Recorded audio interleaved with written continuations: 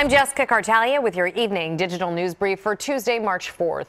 A Philadelphia priest has been released from jail after he's arrested on rape charges. Police say 49-year-old Armand Garcia raped and sexually abused a minor over a three-year period from 2014 to 2017.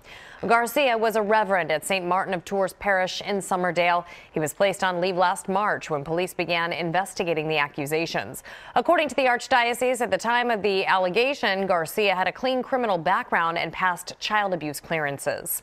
An Uber driver missing for more than a week has been found dead in Philadelphia. Police found James Carter Jr.'s body today in his SUV outside of 30th Street Station. The Willingboro man is on dialysis, and the last time anyone saw him was last Monday when he dropped off a couple in West Philadelphia.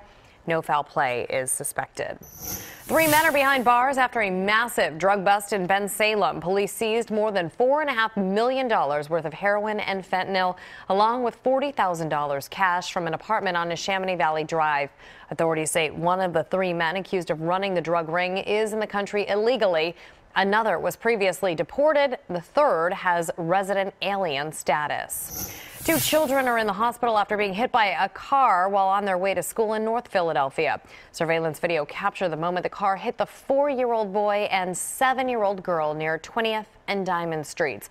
The boy is in critical condition. The girl is stable. Police say the driver stayed at the scene and is cooperating with the investigation. Remember, you can always get the latest on these stories and more right here on CBSPhilly.com.